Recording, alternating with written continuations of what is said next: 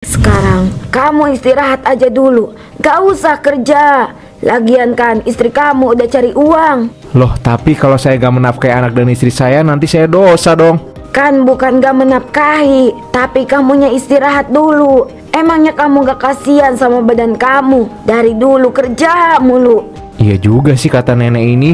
Ingat, jangan pernah kamu berpikir untuk menafkahi anak dan istrimu lagi ya.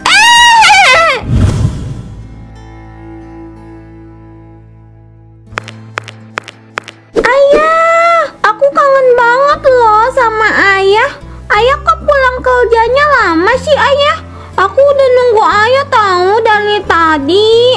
Ayo ayah, kita makan sama-sama. Zahwa, nggak usah ganggu-ganggu ayah. Ayah capek. Udah sana kamu pergi dari sini. Ayah nggak mau ngeliat muka kamu lagi. Ibu.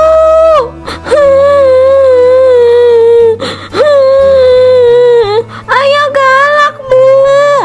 Jahwa sayang, kamu ke kamar dulu Gi sana. Ibu mau bicara sama ayah. Iya, Ibu. Jawa benci sama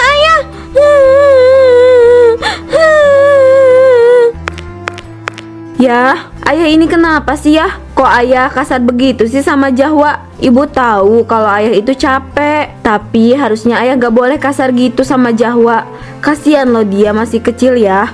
Lagi pula dia kan cuma mau main sama ayahnya. Iya, tapi dia tuh begitu di waktu yang nggak tepat. Aku ini lagi pusing, capek. Kenapa emangnya ya? Kenapa nggak cerita sama ibu? Jangan malah Jahwa yang diomelin. Kasihan loh dia ya. Dia masih kecil. Dia belum ngerti apa-apa.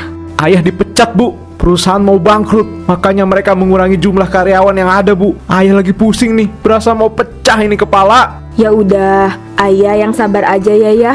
Rezeki nggak bakal ketuker kok ya. Mungkin rezeki kita dari perusahaan memang sudah nggak ada lagi ya. Tapi kan nanti mungkin rezeki kita masih banyak di tempat lain.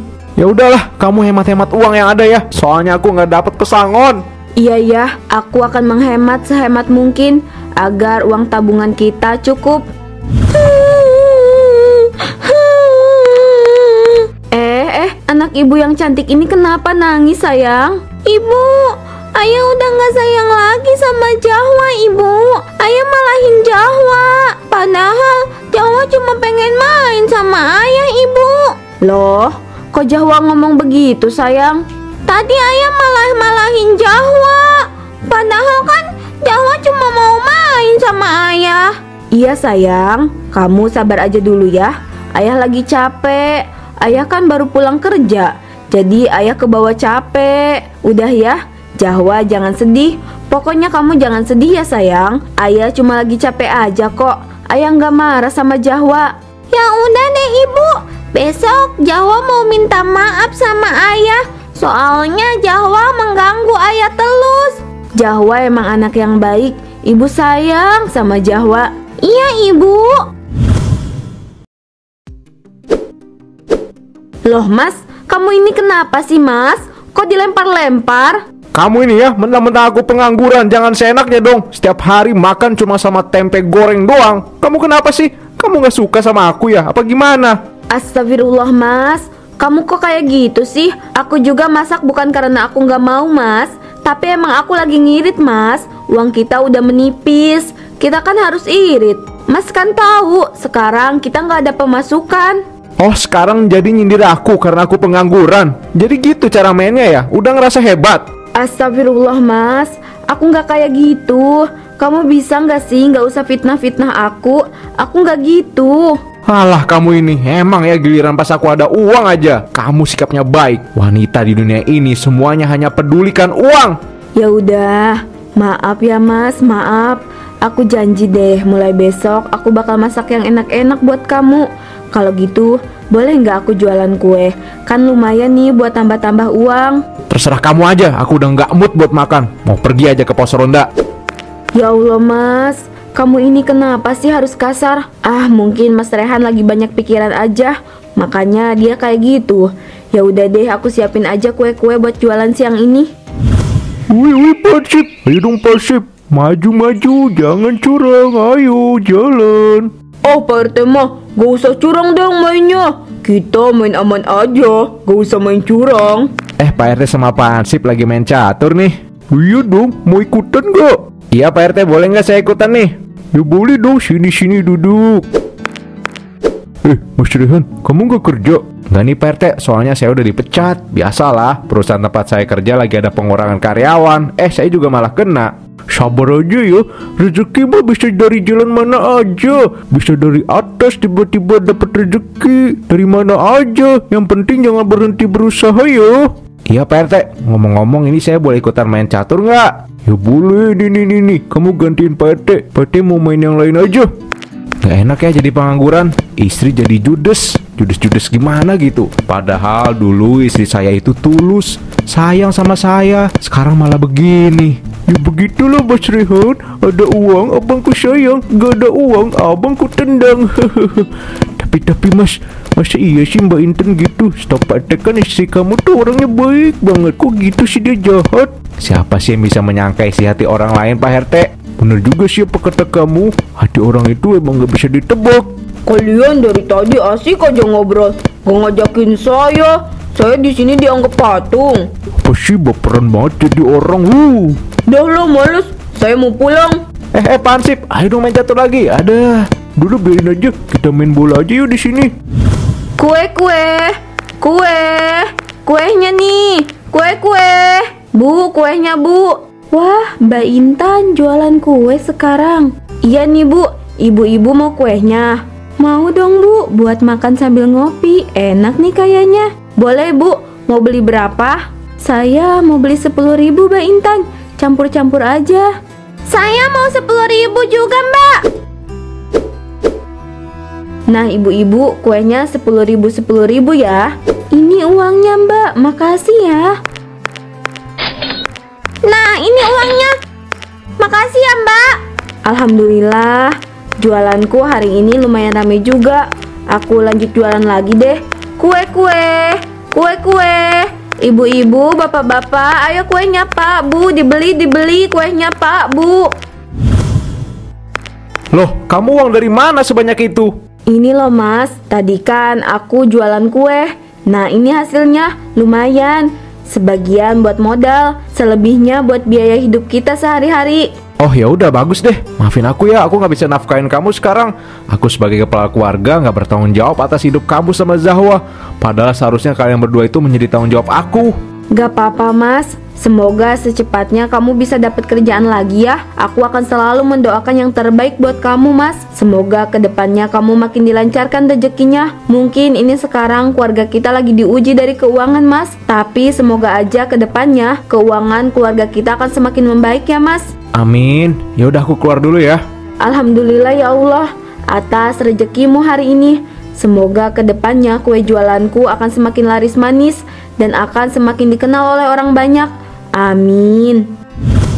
Hmm dipikir-pikir kasihan juga ya Intan. Dia udah bikin kue capek. Dia harus keliling buat jualan kue. Kasian Sedangkan aku enak-enakan aja jadi pengangguran. Aku harus segera cari kerjaan untuk membantu si Intan. Aku harus menafkahi anak istriku Hai, hai Bung, janganlah risau. Makan aja dulu noh jagung rebusnya. Lah, mak ini siapa? Ada apa sih anak muda? Kayaknya kok hidupnya berat banget. Sudahlah, hidup gak usah terlalu dipikirin. Saya ini pengangguran, Nek. Saya merasa bersalah terhadap anak dan istri saya. Saya nggak bisa menafkahi mereka. Sudahlah Bung, gak usah pusing. Justru itu artinya sekarang adalah waktunya untuk kamu menikmati masa mudamu itu. Gak usah risau, aku akan memberikan solusi untukmu. Solusi apa? Selama ini kan kamu tahu sendiri kalau kamu itu sudah bekerja keras. Kamu yang menutupi semua kebutuhan keluarga kecil kamu ini. Sekarang kamu istirahat aja dulu. Gak usah kerja. Lagian kan istri kamu udah cari uang. Loh, tapi kalau saya gak menafkahi anak dan istri saya, nanti saya dosa dong. Kan bukan gak menafkahi, tapi kamunya istirahat dulu. Emangnya kamu gak kasihan sama badan kamu? Dari dulu kerja mulu. Iya juga sih kata nenek ini. Ingat, Jangan pernah kamu berpikir untuk menafkahi anak dan istrimu lagi ya. Semua perkataan nenek itu benar juga ya. Untuk apa aku menafkahi istri dan anakku sekarang? Lagian juga kan walaupun gak menafkahi mereka, mereka masih bisa makan.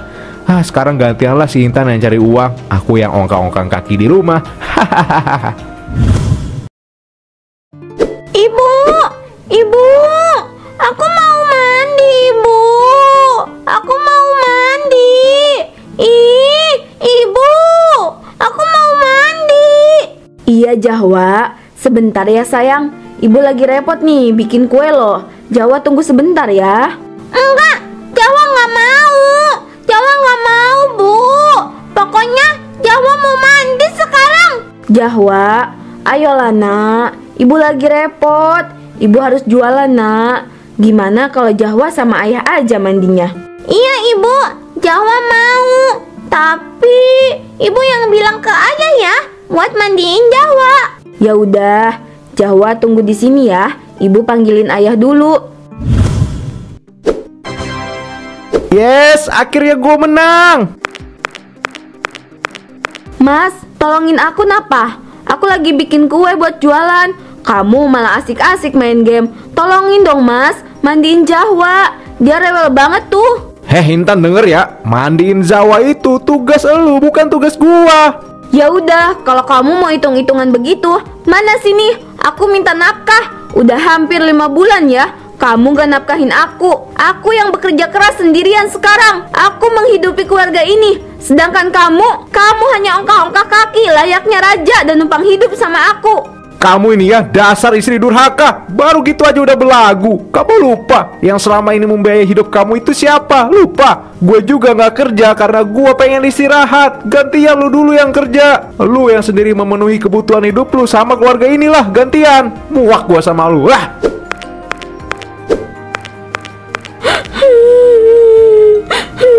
Ya Allah mas, kamu ini kenapa jadi begini? Ada apa sebenarnya dengan diri kamu mas? Ya Allah, kuatkan hatiku untuk menghadapi perlakuan suamiku itu Berikanlah hidayahmu untuknya Wih wih Mas Rehan mau ke mana? Saya mau jalan-jalan Pak RT Lagi males di rumah Oh gitu ya Yaudah mending kamu cari tempat neduh aja ya Sepertinya akan turun hujan Ih, Cici kamu kentut ya? Kok kamu jorok banget sih? Ih, ih, ih, kenapa tuh? Itu kayaknya mah Deril, deril masuk angin itu tut Hah, apa yang terjadi sama aku? Kenapa semua ini bisa terjadi? Aku malu, sebaiknya aku pulang aja Huh, ah, uh, ah, panas, panas banget ah, panas. Ah, air mana air? Aduh, gerep panas nih.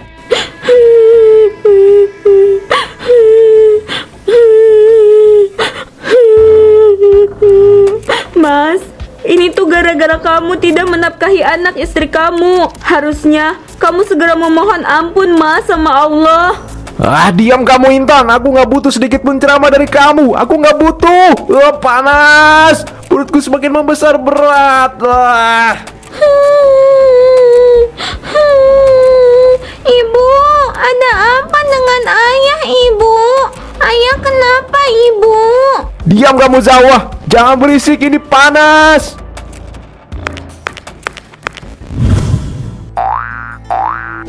Tolong, panas, tolong.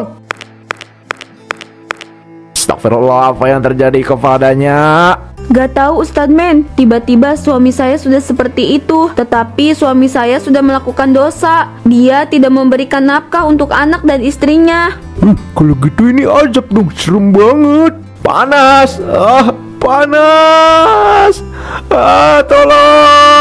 Intan, maafkan aku Intan. Ini semua karena nenek itu. Tolong.